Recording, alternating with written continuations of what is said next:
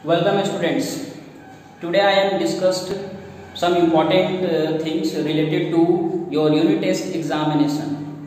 मैं अभी जस्ट आपको ये बताऊँगा कि आपका यूनिट टेस्ट एग्जामिनेशन जो है वो जस्ट कुछ दिनों बाद स्टार्ट होने वाला है इसका फर्दर नोटिस आपको जो है मैसेज के थ्रू आपके मोबाइल पे जाएगा तो वैसे स्टूडेंट जो अभी तक पढ़ नहीं रहे थे या सोच रहे थे कि स्कूल खुलेगी तब तो एग्ज़ाम होगा या नहीं होगा तो वैसे स्टूडेंट्स के लिए ये सबसे बड़ी बात हो जाएगी क्या?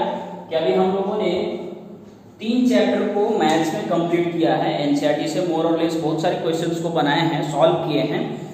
और बहुत सारे स्टूडेंट्स का फीडबैक भी आया है और मोस्ट ऑफ़ स्टूडेंट्स जो हैं, वो अभी भी ध्यान नहीं दे रहे हैं कि हमें इस पीरियड में भी पढ़ना है या छोड़ देना है उसको। वो सोच कर चल रहे हैं क्या? कि स्कूल खुलेगी तभी हम लोग इस पर ध्यान देंगे। पर वैसा है नहीं। तो रिसेंटली हम लोग within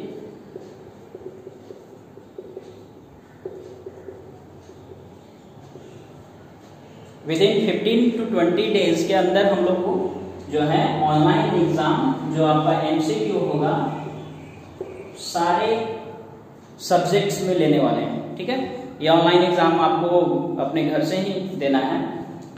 तो ऑनलाइन एग्ज़ाम्स का पोर्शन जो है आपका मैथ्स में, वो नंबर सिस्टम और पॉलिनोमियल होगा। हम लोगों ने तीन चैप्टर पढ़ा है बट ऑनलाइन एग्ज़ाम में आपका जो क्वेश्चंस होंगे एमसीक्यू के, ये दो चैप्टर से ही पूछे जाएँगे। ठीक है? तो हमें ये दो चैप्टर को वेल प्रिपेयर कर लेना है। तो फर्दर हम आगे अब न पढ़ाकर इसी दो चैप्टर को रिवाइज करेंगे। डिफरेंट क्वेश्चंस को सॉल्व करेंगे, जो हमारे पास नई बुक है। साइड वाली बुक उससे क्वेश्चंस को सॉल्व करने की कोशिश करेंगे। क्योंकि वहाँ पे बहुत सारे क्वेश्चन जो ऐसे हैं, जो एनसीईआरटी बुक्स में नहीं है डिफरेंट बुक्स में आपको मिलेंगे। तो ये दो चैप्टर जो है अगेन हम लोग रिवाइज के थ्रू देखेंगे और एमसीक्यू क्वेश्चंस जो ऑनलाइन एग्ज़ाम में आने वाले हैं, उससे भी रिलेटेड क्वेश्चंस का प्रिपरेशन करेंगे, ठीक है? तो फ्रॉम टुडे हम लोग जो है MCQ questions and number system में कुछ टॉपिक ऐसे हैं जो एनसीईआरटी बुक्स में नहीं होते हैं, उसका भी डिस्कशन करेंगे। दैट मीन्स कि टुडे हम जो है, आपको सर्च के बारे में बताएँगे कि सर्च होता क्या है, ठीक है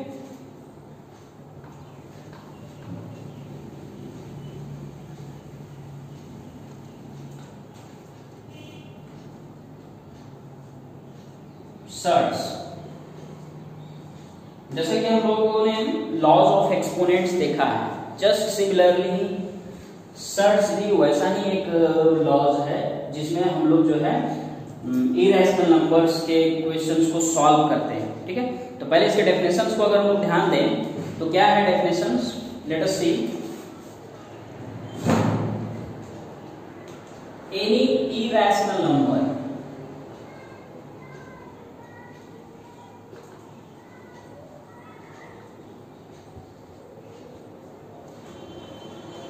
the form.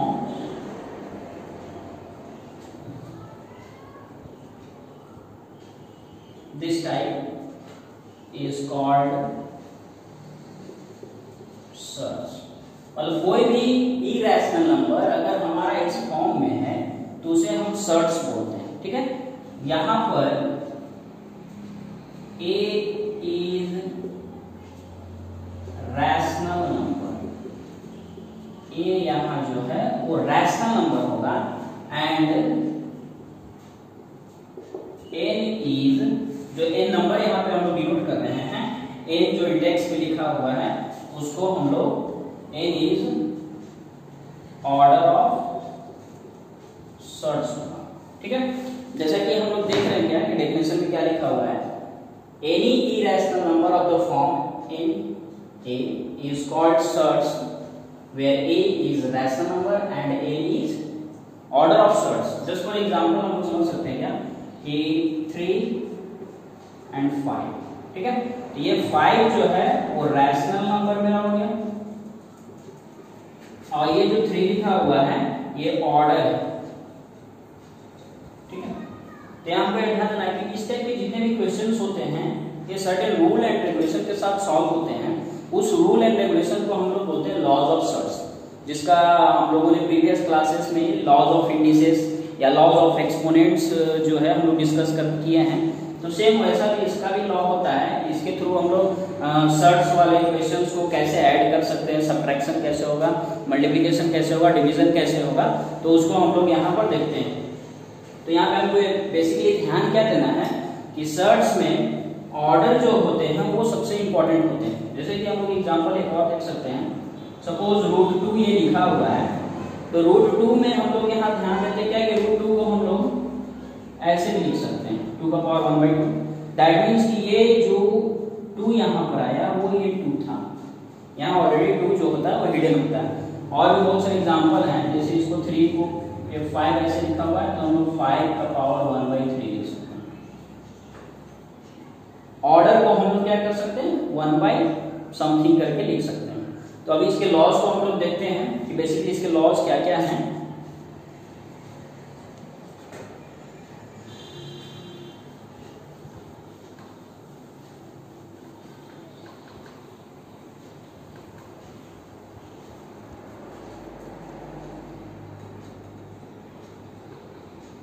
Laws of surds okay laws की अगर हम लोग बात करते हैं तो जैसा लॉज हम लोगों ने लॉज ऑफ़ एक्सपोनेंट्स में पढ़ा है, कुछ उसी तरह से रिलेटेड यहाँ भी लॉ है, जैसे जस्ट फॉर नंबर वन अगर हमारे पास सर्च एक ऐसा हो, जैसे कि ए लिखा हुआ है, ठीक है? यहाँ ए लिखा हुआ है। अभी यहाँ पे ये मेरा सर्च है। विद इन इसके अंदर भी अगर सेम नंबर का ऑर्डर हो तो हम लोग यहाँ पर इसको डायरेक्ट ए लिख सकते हैं। कैसे लिखते हैं? जस्ट फॉर इसको समझने के लिए क्या कर सकते हैं? ए का पावर एन है। मैंने क्या बताया? ये जो ऑर्डर होता है, वो वन बाई करके लिखाता है। तो ये वन बाई एन आ गया। Just n into one by n n n cancel out a बचेगा। मतलब एग्ज़ाम्पल के थ्रू हम देख सकते हैं। कोई भी अगर एग्ज़ाम्पल ऐसा हो फाइव एंड थ्री एंड अंदर में पावर जो है फाइव, ठीक है? तो इसका आप डायरेक्ट आंसर जो है, वो थ्री लिख सकते हैं। या तो इसको सॉल्यूशन करके थ्री का power five multiply one by five cancel out ठीक है? अगर कहीं पे भी सर्ट्स ऐसा हम लोग को दिखता है तो हम लोग ये रूल यूज़ कर सकते हैं। ये वन लॉज ऑफ़ सर्ट्स में आता है। अनदर सर्च के एग्जांपल्स को अगर हम लोग देखें तो दूसरे रूल्स को अगर हम लोग देखें तो यहाँ पर for number two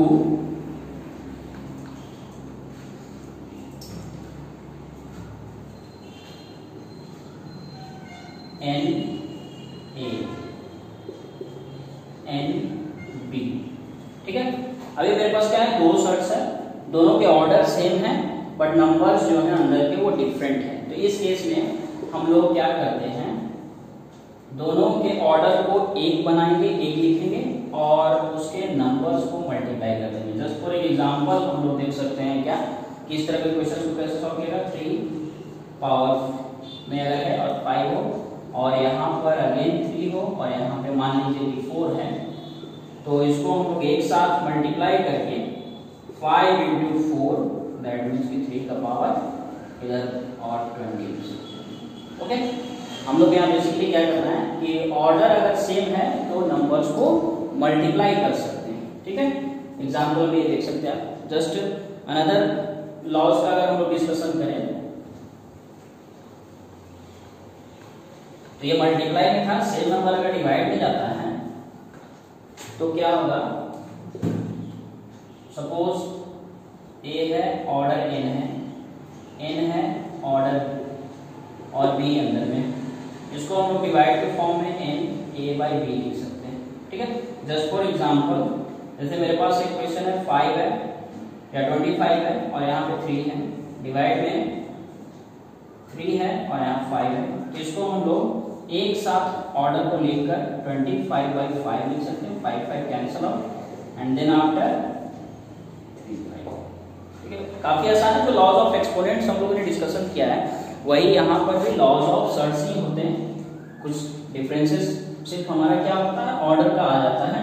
और इससे क्वेश्चन बहुत सारे सॉल्व किए जाते हैं। ये हम लोग को ध्यान में रखना है, ठीक है? अभी जैसे इसी में लॉ एक और आता है क्या? कि बहुत सारा ऐसे रूट में लिखा हुआ है और यहाँ पर ए लिखा हुआ है। ओके तो ये टू और ये टू और ये टू है। ये ध्यान रखना हम लोग। हमेशा रूट वाले नंबर्स में क्या होंगे? टू होंगे। वो बाई डिफ़ॉल्ट छुपा हुआ नंबर्स होता है, जिसको हम लोग को ध्यान में रखना रहता तो यहाँ टू लगा हुआ, यहाँ टू लगा यहाँ टू लगा हुआ। उसको हम लोग रिड्यूस करके चेंज करके नंबर्स को लिख सकते हैं। ठीक है? तो ये सब फॉर्मूले को ध्यान में रखते हुए हम लोग को लॉज ऑफ़ सर्च से रिलेटेड क्वेश्चन को सॉल्व करना। है यहाँ क्वेश्चन से राइज कैसे होते वो देखना है। कैसे सॉल्व किया जा सकता है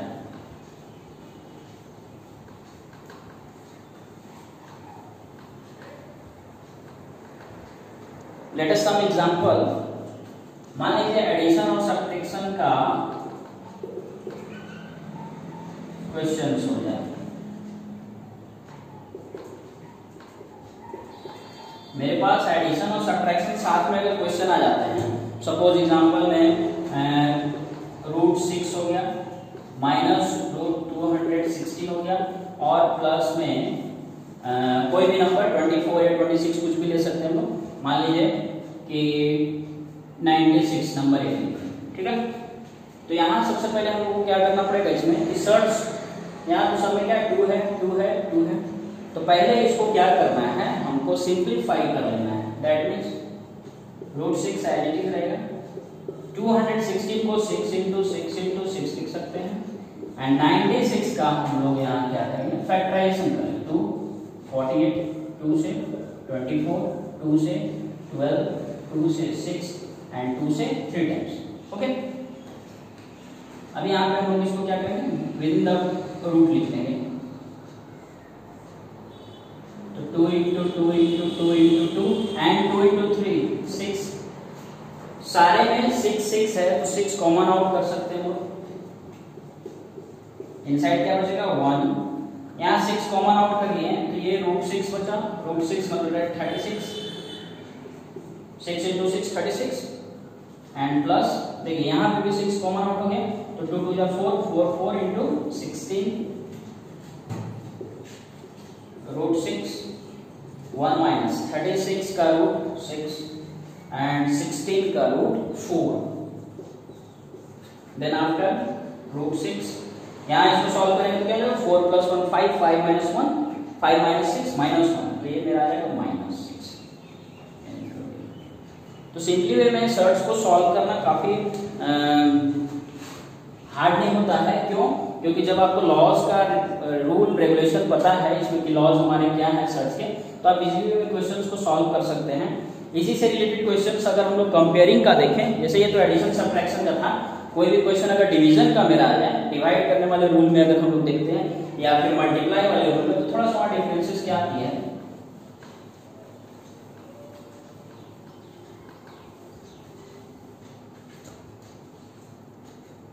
जैसे क्वेश्चन टू देखते हैं डिफरेंट क्वेश्चंस को हम लोग कोशिश करते हैं बनाने का।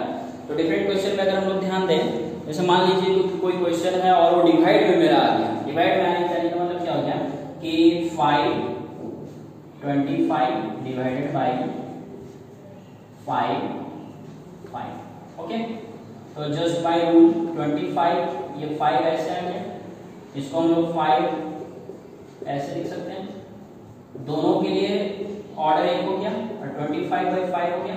Five five cancel out and five root five ये फर्दर आगे सॉल्व नहीं होगा। इसको एक लाइन और सॉल्व कर सकते तो वन वन बाई फाइव लिख सकते हैं। ठीक है? तो सर्च का सॉल्यूशन जो होता है काफ़ी आसान होता है। बस ये ध्यान रखना है कि ये जो ऑर्डर है हमारे, उसको कैसे सॉल्व किया जा सकता है। तो लॉज हमारे अगर ध्यान में है तो हम लोग ऑर्डर्स को इजीली में सॉल्व कर सकते हैं। ठीक है? अभी इसी में क्वेश्चन पूछा जाता है कि दो तीन ऑर्डर दे दिए जाते हैं और उसमें बोला जाता है कि कौन इंक्रीजिंग है डिक्रीजिंग है, वो बताना कौन सा बड़ा ऑर्डर है, कौन सा छोटा ऑर्डर है।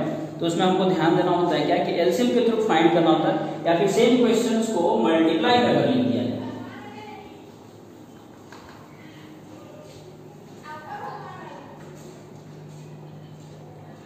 multiply in the sense different questions को अगर हम लोग देखें, जैसे कि थ्री फोर मल्टीप्लाई लिखा हुआ है क्वेश्चन एक ट्वेंटी टू और यहाँ थ्री ठीक है? तो हमें ये ध्यान देना है क्या है कि यहाँ ऑर्डर अगर सेम होता है तो हम लोग क्या करते हैं? दोनों को मल्टीप्लाई कर देते हैं।